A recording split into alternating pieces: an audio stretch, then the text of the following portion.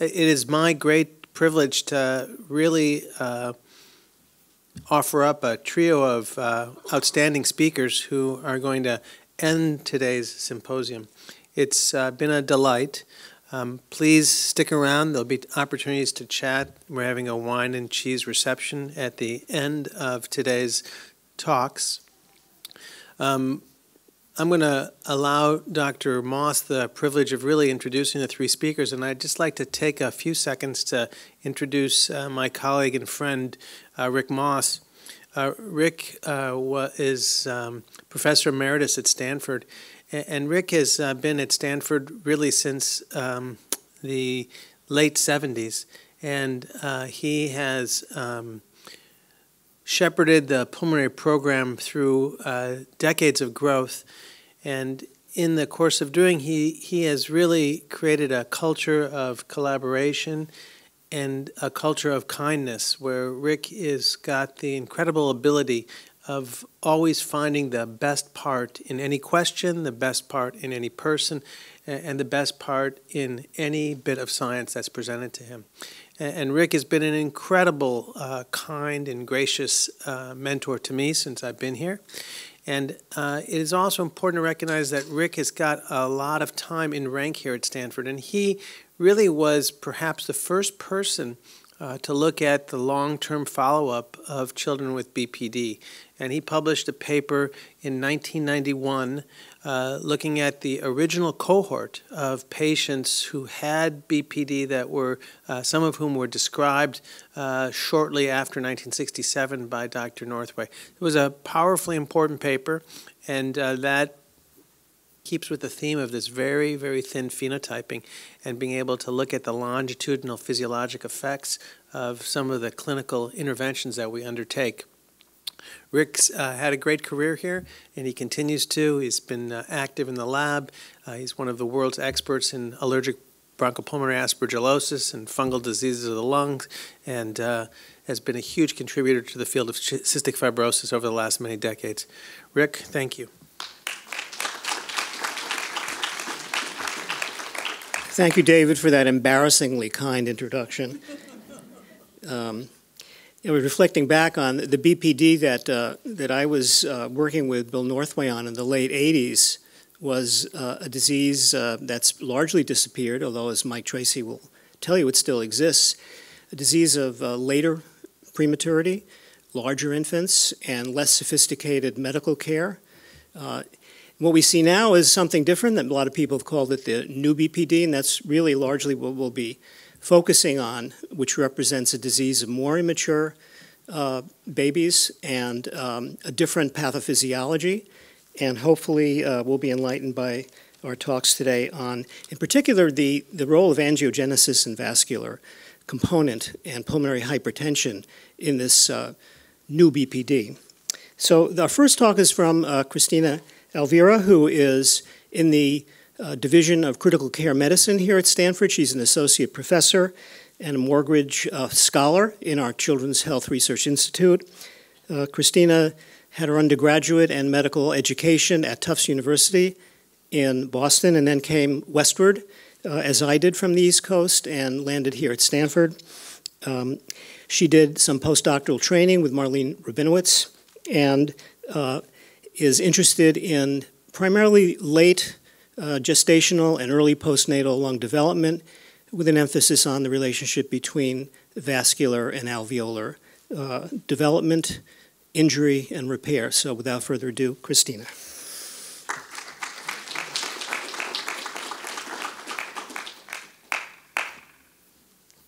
Thank you so much for that um, introduction and the opportunity to uh, speak a little bit about our work. Um, as Dr. Deutsch already really highlighted earlier this afternoon, I think it's important to recognize that a significant component of lung development occurs not just during late pregnancy, but after birth as well. And it's during this final stage of development, um, during alveolarization, where you have division of those primitive terminal saccules into millions of tiny alveoli by the process of secondary septation that results in a dramatic increase in the gas exchange surface area of the lung. However, the immaturity of the lung during late pregnancy and after birth really renders it highly susceptible to injuries that can disrupt this developmental program. Um, and this really includes a lot of things that I encounter as a pediatric intensive care physician working with patients in the ICU. Um, factors such as mechanical ventilation, high levels of oxygen, severe lung infections and systemic infections um, that are potent disruptors of the process of alveolarization. And injuries that occur well before alveolarization even begins, such as intrauterine infections or intrauterine growth restriction of the fetus, can also disrupt alveolarization. And I think much of what we know about how alveolarization occurs has really been learned by studying the impaired alveolar development that we see in babies born prematurely who develop um, bronchopulmonary dysplasia. So the vasculature is really, I think, front and center to this process, and the role of pulmonary angiogenesis in promoting alveolarization, or the so-called vascular hypothesis, for distal lung growth was really, I think, pioneered in large part by the work um, done by Steve Abman, who's here, as well as Bernard Thibault and others.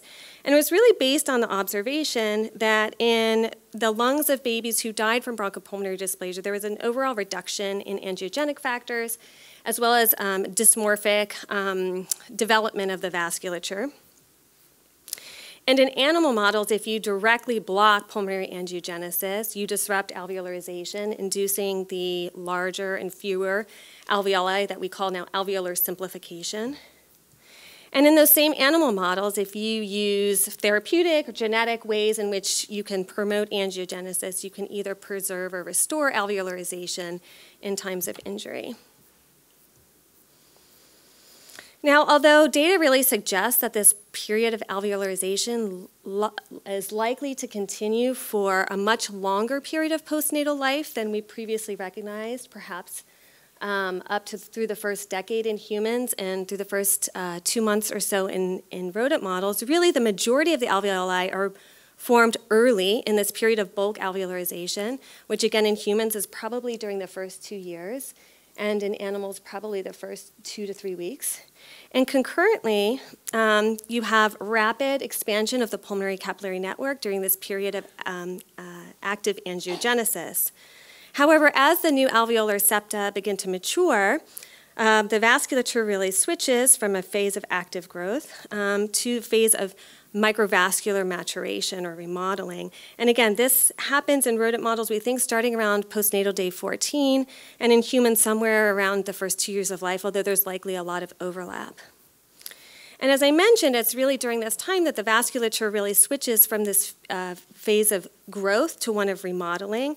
And as you can see here, in a microvascular cast taken from a rat at postnatal day four, and this is in rodents, the beginning of alveolarization. You have this characteristic double capillary layer, um, which is lining the alveolar septa. And this fuses to form the single capillary layer that's characteristic of the adult lung, as you can see here in this microvascular cast from a rat at postnatal day 44. And I think although it's fairly well accepted now that the pulmonary growth of the pulmonary vascular bed is driving alveolarization, I think what we're not completely clear about is whether um, the induction or this pulmonary vascular remodeling phase is a normal physiologic me uh, mechanism that helps to slow alveolar growth. But what we have seen is that there are some injuries um, that are known to disrupt alveolarization.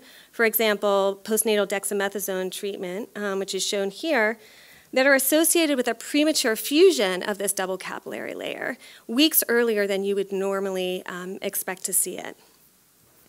And this really um, raised the question that perhaps um, both understanding the mechanisms that control pulmonary vascular growth and those that induce remodeling might be important in understanding alveolarization.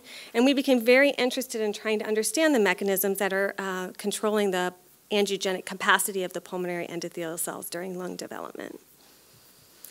So to begin to tackle this question, we developed a method where we could isolate primary pulmonary endothelial cells from mice at different stages of lung development.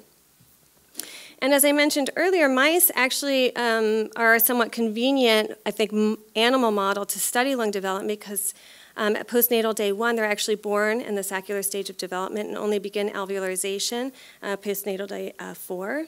So we started these studies by comparing the uh, behavior of pulmonary endothelial cells taken from mice during that early alveolarization or bulk alveolarization phase with um, pulmonary endothelial cells from adult mice. And we initially focused on uh, processes that we thought were important in angiogenesis, so survival of the endothelial cells, proliferation, migration. And as you can see here, um, the two groups of cells actually acted quite differently. So the early alveolar uh, pulmonary endothelial cells here with the yellow bars survived or were much more resistant to apoptosis than the adult cells. They proliferated more quickly, and they also migrated faster than the adult endothelial cells.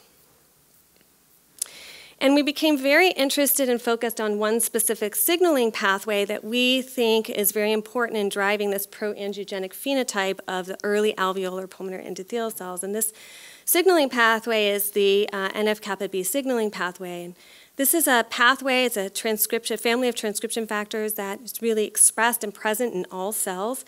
But these NF-kappa B complexes, which you can see here, are uh, present in the cytoplasm in an inactive state, and it's only after activation by a complex of kinases that you can see here where an inhibitory protein is degraded, and this allows these transcription factors to translocate into the nucleus where they can very quickly regulate gene expression. And so this, because the key regulatory step of activation is movement from these molecules from the cytoplasm to the nucleus, this gave us a relatively easy way to get an assessment of how much activation of the pathway was present in the lung um, by doing immunofluorescent staining to look for the presence of these NF-kappa B complexes in the nucleus. And when we did that, we found that in the early alveolar lung, we saw a lot of nuclear staining for NF-kappa B molecules um, which you can see here by the combination of the pink um, immunofluorescent staining from the NF-kappa B molecule on top of the blue nucleus, making this purple signal. Whereas in the adult mouse lung, really most of the NF-kappa B was in the cytoplasm, so in the inactive state.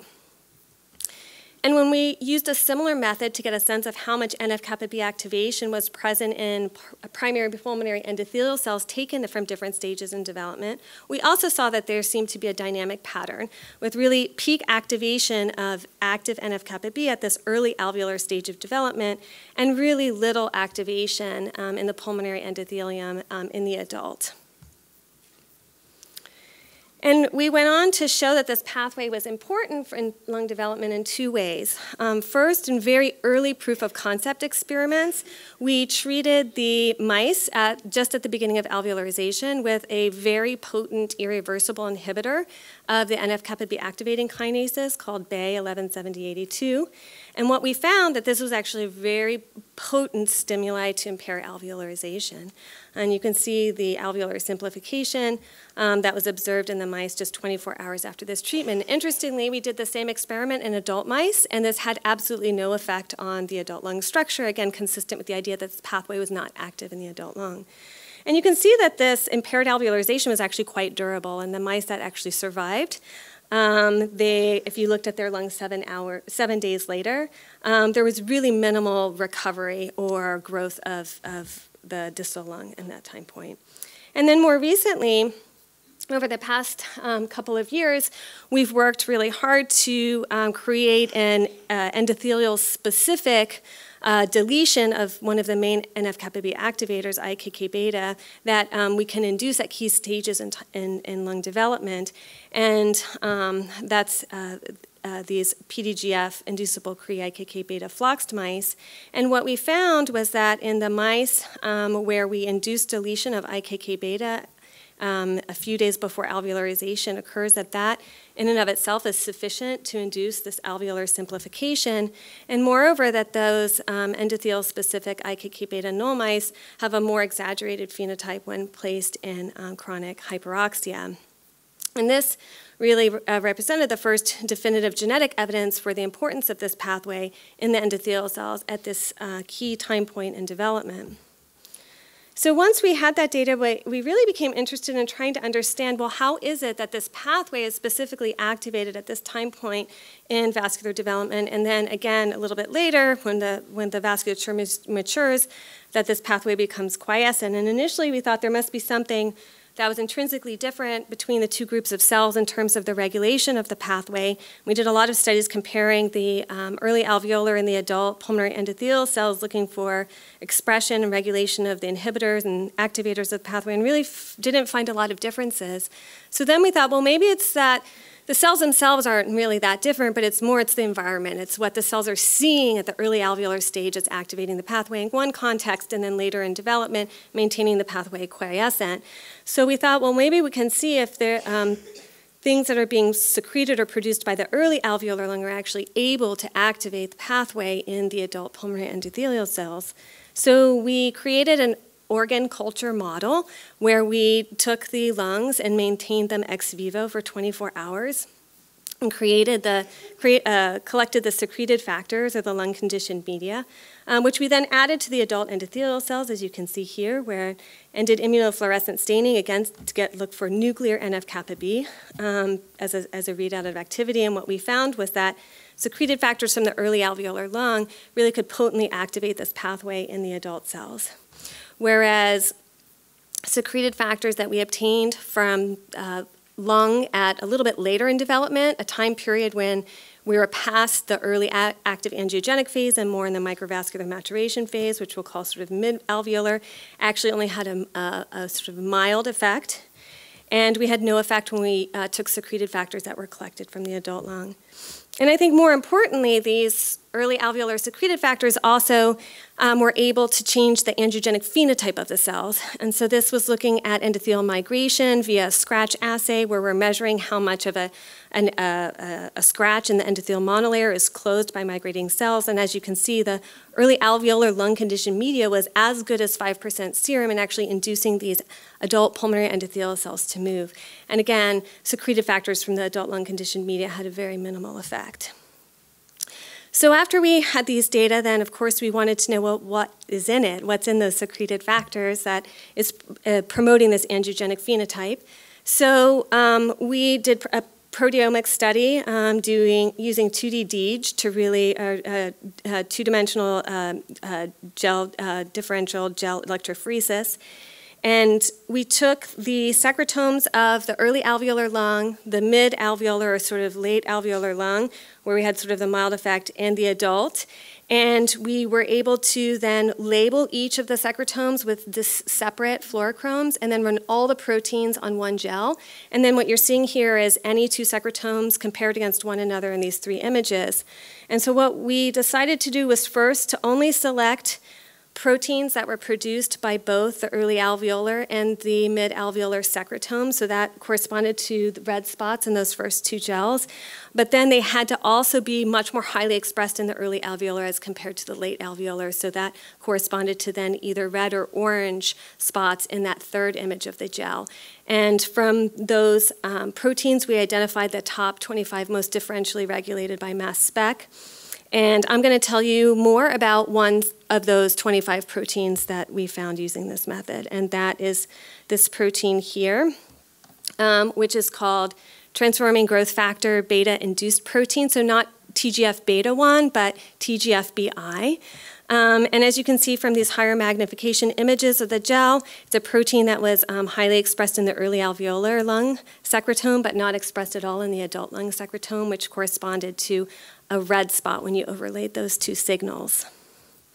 So what is TGFBI? So it's an interesting protein. It's, it's known to be secreted. Uh, it's classically secreted. It's produced by fibroblasts, monocytes, endothelial cells, and it has um, a number of fast domains in the protein, so it allows it to bind to the matrix, and it also has an RGD domain, so it can um, bind to integrins as well. And um, just recently, and this is um, an image that actually Dr. Swar had in his talk. Um, this is uh, work from Jeff Whitsitt's group looking at uh, single cell profiling of uh, lung cells uh, postnatal day one, and this is the clustering just of the mesenchymal cells. And what you'll see here is um, that TGFBI was identified as a highly distinguishing gene that really discriminates or identifies myofibroblasts and vascular smooth muscle cells at this time point in development.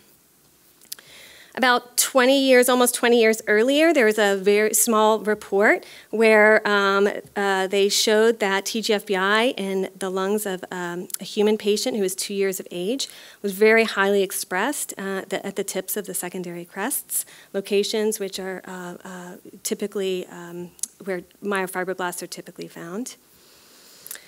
And then interestingly, work that was done here at Stanford by Hugh Obradovic and Gary Shaw. Um, TGFBI, a rare variant in TGFBI, was actually one of 258 rare variants um, that was found to be associated with an increased risk of BPD. So there was a lot of evidence suggesting that this might be an important protein. So we first um, confirmed this uh, developmental expression of TGFBI um, in a number of ways. We did Western blots um, looking at the expression in separate cohorts of our lung conditioned media, as well as in um, lysates from whole lung.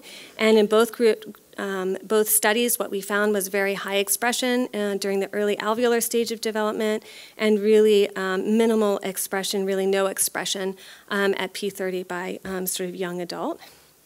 And then we did immunofluorescence staining as well, looking at the expression pattern of TGFBI in C2. And as you can see in the early alveolar lung, there were numerous cells that are really intensely positive for TGFBI, whereas in the adult lung, there's really no TGFBI expression. And consistent with what others have found, we found that many of these intensely positive staining cells were found at the tips of the secondary crests. We then wondered, well, how much of the proangiogenic effect of those early alveolar uh, secreted factors was really related to the presence of TGFBI. So we did studies where we added antibodies, anti-TGFBI neutralizing antibodies to the lung conditioned media.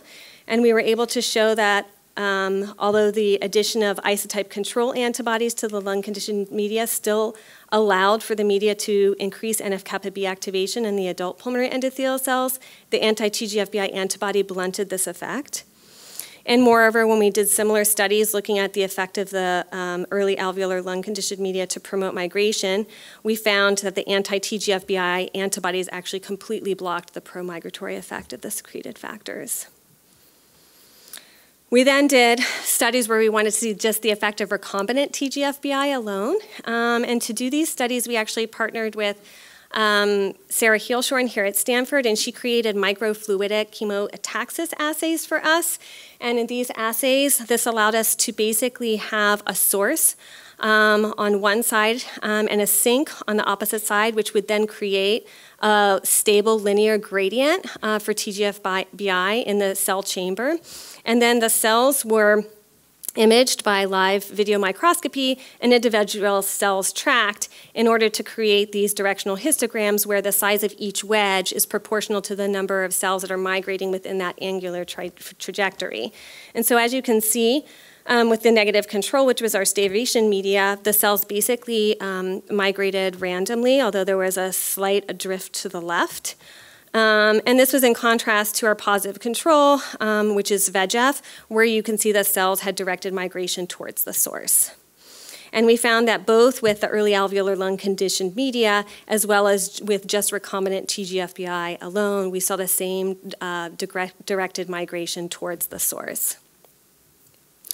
We also were able to show that the uh, recombinant TGFBI alone um, is able to induce NF-kappa B activation in our cells, and we showed this both by um, the increased nuclear presence of NF-kappa B complexes on immunofluorescent staining, as well as increased NF-kappa B uh, binding, uh, DNA binding on EMSA from nuclear extracts um, obtained from cells that were stimulated with recombinant TGFBI.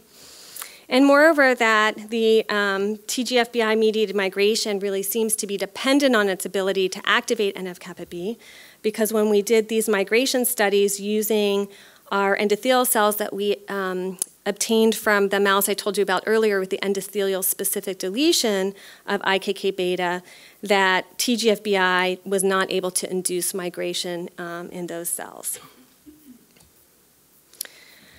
More recently, we've been trying to get a better understanding of what are the mechanisms really accounting for these effects. Um, so we uh, did RNA-seq on our early alveolar endothelial cells and our adult endothelial cells stimulated with TGFBI, and we'd had some um, additional data that I didn't show you that um, demonstrated that TGFBI could actually promote migration in both the neonatal or the early alveolar and the adult. So what we were looking for was shared genes, genes that were upregulated in both groups in response to TGFBI.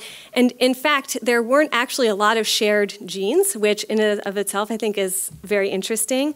Um, but one gene that we found that was shared is CSF3. Which I think most of us are GCSF. Most of us think of mostly for its um, chemokine and uh, effects in, with leukocytes in the immune system. However, there were a number of reports demonstrating that CSF3 actually can enhance um, nitric oxide synthase activation and NO production and promote migration in other types of endothelial cells. So we first confirmed that TGFBI was able to um, increase CSF3 um, gene expression. And we did studies where we actually looked for NO production by using an NO-sensitive dye that fluoresces green um, in, response to NO production. Um, and we were able to show that recombinant TGFBI enhances nitric oxide production in our endothelial cells. And we did studies to see how much of this effect was really related to CSF3 by silencing CSF3 um, with siRNA. And as you can see, we got really nice knockdown of the protein by 48 hours, which is when we did our functional studies. And we were able to show that silencing of CSF3 both impaired the ability of recombinant TGFBI to induce cell migration as well as um, really completely blocking the ability of recombinant TGFBI to enhance NO production in our cells. And we've also done studies um, in collaboration with Simon Conway's group to try and get, again, more definitive um, evidence that this uh, protein is important for promoting alveolar and vascular growth by studying the phenotype of mice uh, that um, lack TGFBI. And um, what we found is that baseline for these TGFBI null mice, they had this uh, mild alveolar simplification um, that really was associated with an overall decrease in the number of uh, distal vessels when we were looking at um, the number of von Willebrand factor stained vessels, which is a gross measure of pulmonary vascular density. And these mice really have a much more severe phenotype when they're exposed to chronic hyperoxia. As you can see, they developed really marked um, airspace dilation, alveolar simplification, and a real loss of distal vessels. And finally, I think we are starting to have some evidence as well that alterations in this lung microenvironment in response to injury may be playing a key role um, in the pathogenesis of the impaired alveolarization and angiogenesis that we see. Um, so in these experiments, we basically repeated the organ culture experiments, but instead of um, looking at different times in development, we took the early alveolar lung and we maintained it either in normoxia or in increasing um, amounts of hyperoxia. And what we found was oxygen exposure um, resulted in a dose-dependent decrease in the ability of these secreted factors to induce um, endothelial migration. Um, and this was associated, if you look at the conditioned media that was uh, created with 75% oxygen exposure, um, a significant reduction in TGF-BI protein present within that lung conditioned media. And we didn't see that when we um, created the conditioned media uh, by maintaining the organ culture in hypoxia. And these are very preliminary studies, um, but we started a, a recent collaboration um, with Mary Sunday, um, who's spent years um, working on a premature baboon model of BPD. And these are early kind of proof of concept studies where we first just tested her control in her most severe injury, which is mechanical ventilation plus it's supposed to be 100% oxygen there. I mean, as you can see, there's um, in the control animals, we see a lot of individual cells that are intensely positive for TGFBI, and in, in addition to the, I think, very dramatic, marked uh, septal thickening, you can see just a dramatic decrease in TGFBI immunostaining in her um, old BPD samples. So to summarize, you, we um, believe that uh, developmental expression of these factors in the lung um, microenvironment are really key to activating this proangiogenic pathway in the early alveolar uh, pulmonary uh, endothelium, and that with maturation, loss of these factors and perhaps the induction of additional developmental factors maintain uh, NF-kappa B inactive and maintain uh, endothelial quiescence.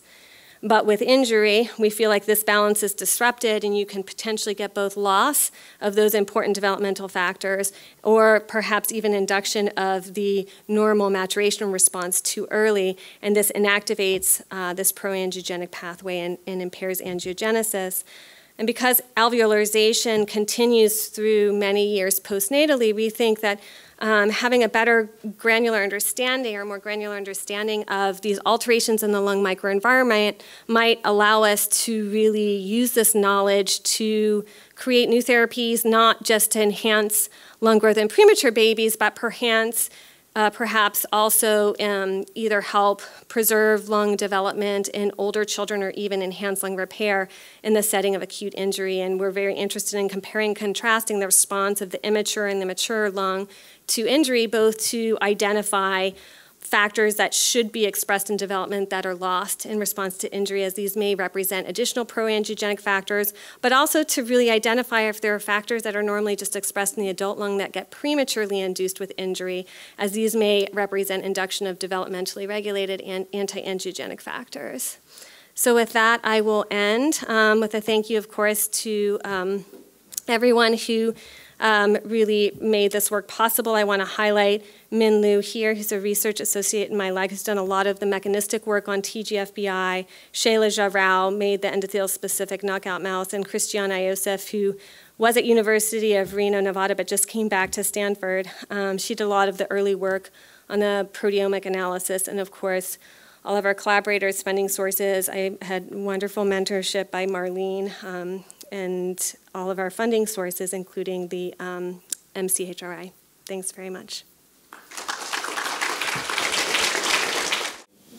same response, for example, with uh, partial resection of an adult lung, Yeah. and you actually turn this on, the same system on. Right. So I think that's something that we're very interested in, in studying. We know we can do it in the cells. Uh, we don't know whether we can do it in the lung. And it's a question, too, of whether I think we're interested both in activating, so for example, treating with TGFBI or overexpressing TGFBI and seeing the TGFBI mediated effects, as well as just activating the NF kappa B pathway. The endothelial activation of the NF kappa B pathway is something we're working on because there's a genetic model that makes that pretty easy. The TGFBI treatment, I think we'd have to think about what the right model is. I like the pneumonectomy idea um, because I think that it's clear that TGFBI activates NF-kappa B, but I think it probably does a lot of other things as well. And if you notice, the phenotype of that mouse is actually worse than our endothelial-specific NF-kappa B knockout. So I think both experiments would be interesting. Would you be willing to share the twenty-two proteins uh, that you found that uh, were of interest with? other Yeah, definitely, definitely. I mean, we picked this one because it had the most basis, but there's another one that we found that I think I talked to you about before. We didn't know what to do with it. I'm still very interested in, but yeah, of course, happy to collaborate with with anyone on anything.